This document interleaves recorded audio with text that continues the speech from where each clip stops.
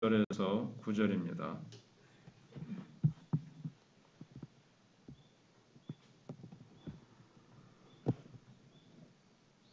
바사왕 고레스 제3년에 한 일이 벨드사살이라 이름한 다니엘에게 나타났는데 그 일이 참되니 곧 큰 전쟁에 관한 것이라 다니엘이 그 일을 분명히 알았고 그 환상을 깨달으니라 그때 나 다니엘이 세 일의 동안을 슬퍼하며 새 이래가 차기까지 좋은 떡을 떡을 먹지 아니하며 고기와 포도주를 입에 대지 아니하며 또 기름을 바르지 아니하니라. 첫째 달 24일에 내가 히데겔이라 하는 큰 강가에 있었는데 그때 내가 눈을 들어본즉 한 사람이 세마포 옷을 입었고 허리에는 우바스 순금띠를 띠었더라. 또 그의 몸은 황옥 같고 그의 얼굴은 번갯빛 같고 그의 눈은 횃불 같고 그의 팔과 발은 빛난 녹과 같고 그의 말소리는 무리의 소리와 같더라. 이 환상을 나 다니엘이 홀로 보았고 나와 함께한 사람들은 이 환상은 보지 못하였어도 그들이 크게 떨며 도망하여 숨었느니라. 그러므로 나만 홀로 있어서 이 큰 환상을 볼 때에 내 몸에 힘이 빠졌고 나의 아름다운 빛이 변하여 썩은 듯 하였고 나의 힘이 다 없어졌으나 내가 그의 음성을 들었는데 그의 음성을 들을 때에 내가 얼굴을 땅에 대고 깊이 잠들었느니라. 아멘. 우리 인간은 우리가 잘 알다시피 나 홀로 떨어져서 그렇게 존재할 수가 없습니다. 다 가족, 사회, 또 국가, 또 전 지구적으로 다 이렇게 그물망처럼 보이지 않지만 다 연결이 되어 있습니다. 나 혼자 모든 것하고 관계가 끊어진 독단적으로 존재할 수가 없죠. 그래서 본문에서 다니엘은 히데겔 강가에서 홀로 놀라운 신비 체험을 하게 됩니다. 하지만 이 신비 체험은 다니엘 혼자만을 위한 것이 아니라 이스라엘을 위한 것이고 또 더 나아가서 온 세상을 위한 그런 환상을 보게 되고 신비 체험을 하게 됩니다. 다니엘의 이 히데갈 히데겔 강가에서의 체험을 통해 우리의 신앙의 모습은 어떻게 해야 되는가 하는 것을 배울 수가 있습니다. 신비 체험을 하기 전에 다니엘은 이제 세일 동안 근신하며 음식을 절제하는 중이었습니다. 그렇게 한 시기가 어떤 시기냐면 첫째 달 이라고 하는 걸 보아서 이 유월절을 지키고 있었던 것이 아닌가 사절에 보면 그렇습니다. 유월절은 우리가 잘 아는 대로 애국왕 바로의 압제에서 구원받은 날을 기념하는 절기입니다. 다니엘은 포로로 유배되어 있는 민족의 현실에 마주해서 큰 슬픔 가운데 다시 한번 이스라엘이 회복되어 약속의 땅으로 들어가는 구원을 소망하고 있었습니다. 출애굽하듯이 출 바벨론 해가지고 다시 입 가나안 한 것처럼 다시 입 가나안으로 하기를 원했던 거죠. 근데 다니엘의 슬픔은 개인적인 슬픔만이 아니라 이 무너진 예루살렘을 한탄하는 큰 슬픔이었 것입니다. 이스라엘 민족의 성전이 무너지고 그 하나님의 성 예루살렘이 무너진 것에 대해서 아파하는 그런 예, 아픔이었습니다. 그래서 그가 절식하면서 이제 기도를 하는 거죠. 그래서 다니엘은 피정복민으로 지금 살고 있습니다. 그리고 그 당시에 초인류 국가인 바벨론과 페르시아에서 개인적으로 보면 출세한 사람이죠. 높은 지위까지 올라갔으니까요. 거의 왕 다음으로 많은 나라를 다스리는 그런 정치적인 입장에 있었습니다. 나 개인적인 성공이 그의 마음을 즐겁고 뭐 편안하게 해주는 건 아닙니다. 자기 민족의 구원을 위해서 끊임없이 마음 아파하면서 구원받게 해달라고 그는 하나님 앞에 큰 슬픔을 가지고 이렇게 시, 시간만 되고 기회만 되면 절식하면서 이스라엘의 구원을 위해서 기도하고 기도했던 겁니다. 지금 예, 한국교회 상황을 보고 현실을 보아도 참 암담한 부분이 참 많이 있습니다. 며칠 전에 말씀드린 대로 어느 신학자가 한국교회는 스스로 정화할 수 있는 능력이 있느냐 없느냐 그리고 우리는 깊이 교단 교단마다 총회마다 우리 고신총회 말고 뭐 장신 측이라든가 통합 측이라 아, 통합 측이나 합동 측, 뭐 감리교 이런데 다 가도 예, 많이 부패해 있고 많이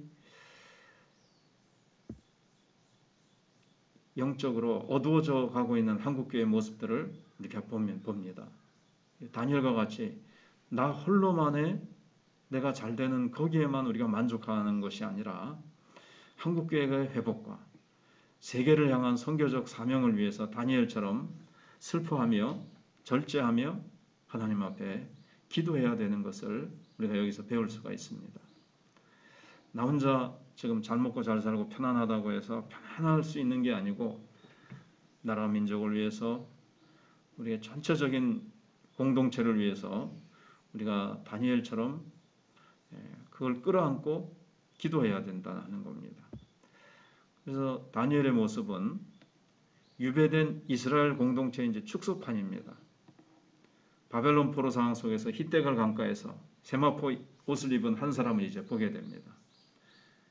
그렇게 낮아져서 이제 절식하는 모습은 자기는 기름진 음식 실컷 먹을 수 있죠. 그러나 다른 포로로 고생하는 다른 사람들을 생각할 때 같이 고난을 이제 받는 거죠.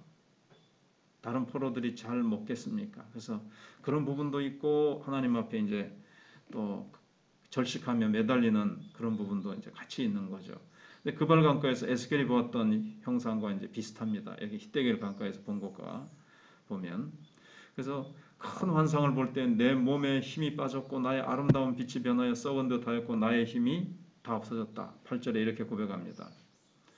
물론 이거는 예, 절대 영광이신 하나님 앞에서 피조물로서 두려움의 감정일 수도 있지만 이 문맥상 보면 앞으로 이스라엘이 당해야 하는 임박한 환란에 대한 두려움으로 어, 보면서 그렇게 절망적인 모습으로 뭐라 그럴까요? 절망적이 하나님이 계시니까 뭐 절대 절망은 아니겠습니다만은 이스라엘이 임하게 될 그 환란 그걸 보면서 너무 지금 고통스럽게 된 겁니다. 온몸에 힘이 빠지고 썩은 듯이 죽은 사람처럼 된 거예요.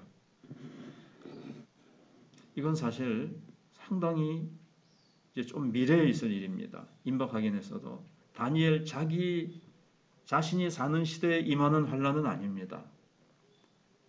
그러면 아유 우리 민족이 큰 어려움을 당했구나. 하나님의 백성들이 하나님의 택한 백성이 이스라엘에게 큰 환란이 당하겠구나. 근데 내 시대는 아니, 아니니까 뭐 하면서 좀 무덤덤할 수도 있습니다. 그런데 다니엘은 그렇지 않습니다. 마치 자신이 죽게 된 것처럼 창백해져서 결국 깊이 이제 잠들게 됩니다.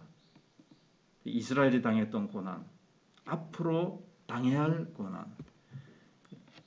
지금 바벨론으로 포로 잡혀 오기도 오고 그 전에도 막 이렇게 하나님 앞에 불순종해서 당했던 이스라엘의 고난.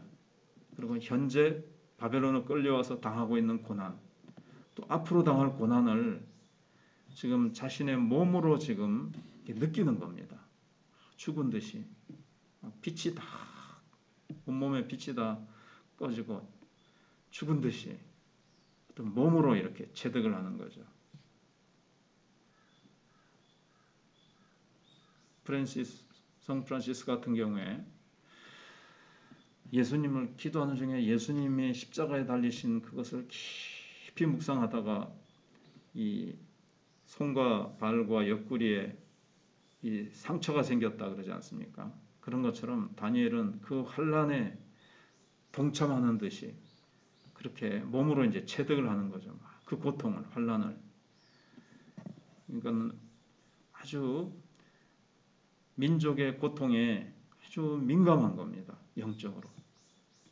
우리도 우리 한국 교회가 지금 어두워져 가고 있는 것에 대해서 같이 아파하고 그 정도로 영적으로 민감하고 민족의 고통에 민감하면서 또 지금 어, 고난당하는 자들, 약한 자들의 그 아픔에 동참하는 우리 그리스도인들이 되어야 되겠다 하는 것을 배울 수가 있습니다. 히데겔 강가에서 이스라엘의 운명을 자신의 운명처럼 끌어안고 씨름하고 있는 다니엘의 모습은 야복 강가에서 하나님과 씨름했던 야곱이 떠오릅니다. 야곱이 변하여 축복받은 이스라엘의 모습으로 변화된 것처럼 다니엘의 이 모습이